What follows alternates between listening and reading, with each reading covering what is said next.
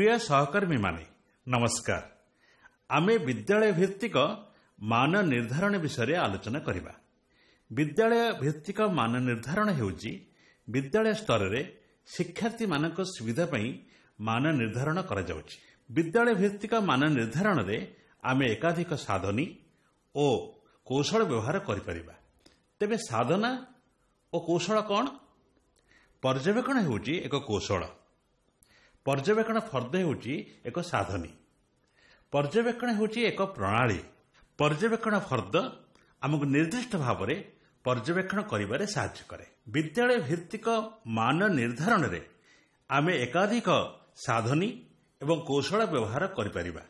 ଯେପରିକି ସ୍ୱମାନ ନିର୍ଦ୍ଧାରଣ ସହପାଠୀଙ୍କ ଦ୍ୱାରା ମାନ ନିର୍ଦ୍ଧାରଣ ଦଳଗତ କାର୍ଯ୍ୟରୁ ମାନ ନିର୍ଦ୍ଧାରଣ ପୋର୍ଟଫୋଲିଓ ମାନ ନିର୍ଦ୍ଧାରଣ ପ୍ରାମାଣିକ ମାନ ନିର୍ଦ୍ଧାରଣ ଉପାଖ୍ୟାନ ବିବରଣୀ ଏବଂ ଅନ୍ୟାନ୍ୟ ସାଧନୀ ଏବଂ କୌଶଳ। ଆମେ ସମସ୍ତେ ପରିଚିତ ଯେ ସିସିଇ ବିଦ୍ୟାଳୟ ସ୍ତରରେ ପରିଚାଳିତ ହେଉଛି। କିନ୍ତୁ ମୁଖ୍ୟତଃ ଏଥିରେ ତଥ୍ୟକୁ ଉଚ୍ଚ ସ୍ତରକୁ ପ୍ରଦାନ କରାଯାଇଥାଏ। ବିଦ୍ୟାଳୟ ଭିତ୍ତିକ ମାନ ନିର୍ଦ୍ଧାରଣରେ ଶିକ୍ଷକ ଏବଂ ଶିକ୍ଷାର୍ଥୀମାନଙ୍କ ଦ୍ୱାରା କ୍ରମାଗତ ଭାବରେ ଶିକ୍ଷାର୍ଥୀଙ୍କ କାର୍ଯ୍ୟଦକ୍ଷତାକୁ ଉନ୍ନତ କରିବା ପାଇଁ ବିଦ୍ୟାଳୟ ସ୍ତରରେ ମାନ ନିର୍ଦ୍ଧାରଣ କରାଯାଇଥାଏ। ତେଣୁ ବିଦ୍ୟାଳୟ ଭିତ୍ତିକ ମାନ ନିର୍ଦ୍ଧାରଣ ଏବଂ ଅନ୍ୟାନ୍ୟ ମାନ ନିର୍ଦ୍ଧାରଣ ମଧ୍ୟରେ ଏହା ହେଉଛି ମୌଳିକ ପାର୍ଥକ୍ୟ।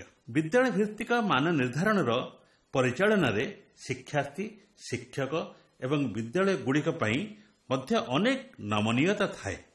ମନେ କରନ୍ତୁ ଶିକ୍ଷକ ନିର୍ଦ୍ଦିଷ୍ଟ ସମୟ ପାଇଁ ଉପଲବ୍ଧି ନୁହନ୍ତି। ଶିକ୍ଷାଦାନ ଶିକ୍ଷଣ ଘଟିଛି କି ନାହିଁ?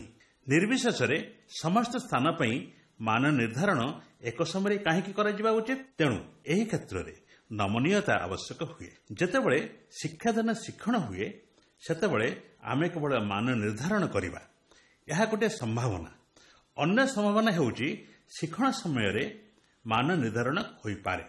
ଫଳରେ ଶିକ୍ଷାର୍ଥୀମାନେ ସେମାନଙ୍କର କାର୍ଯ୍ୟଦକ୍ଷତାକୁ ଉନ୍ନତ କରିପାରିବେ। ବାହ୍ୟ ରୂପ ପରୀକ୍ଷାର ମୂଲ୍ୟାୟନରେ ଏହା ସମ୍ଭବ ନୁହେଁ। ତେଣୁ ବିଦ୍ୟାଳୟ ଭିତ୍ତିକ ମାନ ନିର୍ଦ୍ଧାରଣରେ ଏହା ଅନ୍ୟ ଏକ ସୁବିଧା। ବିଦ୍ୟାଳୟ ଭିତ୍ତିକ ମାନ ନିର୍ଦ୍ଧାରଣ ସ୍ୱଚ୍ଛତା ପ୍ରଦାନ କରିଥାଏ। ଶିକ୍ଷାର୍ଥୀମାନେ ଏକ ସମୟ ବ୍ୟବଧାନ ମଧ୍ୟରେ ନିଜର ଅଗ୍ରଗତିକୁ ଦେଖିପାରିବେ। ବାସ୍ତବରେ ଏହା ଅଂଶଗ୍ରହଣାତ୍ମକ ପନ୍ଥା ଅବଲମ୍ବନ କରେ। କାରଣ ଶିକ୍ଷାର୍ଥୀମାନେ କେବଳ ଶିକ୍ଷାଦାନ ଏବଂ ଶିକ୍ଷଣରେ ନୁହେଁ ବରଂ ନିଜର ମାନ ନିର୍ଦ୍ଧାରଣ କରିବାରେ ମଧ୍ୟ ନିଜକୁ ସକ୍ରିୟ କରିପାରିବେ। ଫଳରେ ଏହା ସ୍ୱଚ୍ଛତା ପାଇଁ ସୁଯୋଗ ପ୍ରଦାନ କରେ। ସେମାନଙ୍କୁ କିପରି ମାନ ନିର୍ଦ୍ଧାରଣ କରାଯାଉଛି ଏବଂ କେଉଁ ମାନକ ଆଧାରରେ ମାନ ନିର୍ଦ୍ଧାରଣ କରାଯାଉଛି ଏହା ଜାଣିପାରିଲେ ସେମାନେ ସକ୍ରିୟ ଯୋଗଦାନ କରିପାରିବେ। ବିଦ୍ୟାଳୟ ଭିତ୍ତିକ ମାନ ନିର୍ଦ୍ଧାରଣର ଅନେକ ସମ୍ଭାବନା ଏବଂ ସୁବିଧା ହେଉଛି ଯେ ମାନ ନିର୍ଦ୍ଧାରଣ କରୁଥିବା ବିଦ୍ୟାଳୟ ଏବଂ ଶିକ୍ଷକମାନଙ୍କର ସ୍ୱାଧୀନତା ପାଇଁ ସୁଯୋଗ ଅଛି ଏହା ଅତ୍ୟନ୍ତ ଗୁରୁତ୍ୱପୂର୍ଣ୍ଣ। କାରଣ ଅନ୍ୟାନ୍ୟ ଅନୁଷ୍ଠାନ ଦ୍ୱାରା ବିଭିନ୍ନ ପ୍ରକାର ମୂଲ୍ୟାୟନ ଏବଂ ମାନ ନିର୍ଦ୍ଧାରଣ ପରିଚାଳିତ ହେଉଛି। ବିଦ୍ୟାଳୟ ଭିତ୍ତିକ ମାନ ନିର୍ଦ୍ଧାରଣ ଏହି ପ୍ରକାର ମାନ ନିର୍ଦ୍ଧାରଣର ଏକ ପ୍ରତିରୂପ ଯେଉଁଠି ଶିକ୍ଷାର୍ଥୀମାନେ ଏକ ବାହ୍ୟ ମାନଦଣ୍ଡ ଆଧାରରେ ନିଜର ଅଗ୍ରଗତିକୁ ତଦାରଖ କରିଥାନ୍ତି। ଅନେକ ସମ୍ଭାବନା ହେଉଛି ଶିକ୍ଷଣ ଫଳାଫଳକୁ ମାନ ନିର୍ଦ୍ଧାରଣ ସହିତ ଯୋଡ଼ିବା।